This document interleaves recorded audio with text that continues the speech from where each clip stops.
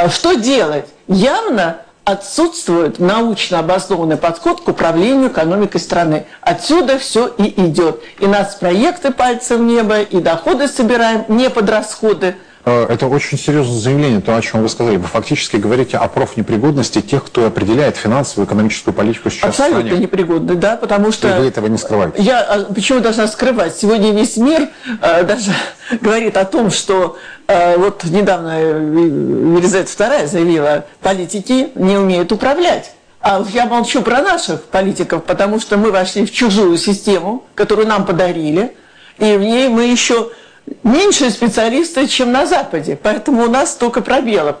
Мы действительно не умеем управлять экономикой. Мы можем издавать приказы экономике. Давай-ка двигайся вперед. У экономики есть свои законы, Да, а и экономика, она чихать она абсолютно этим не интересуется. Мы можем снять всех губернаторов.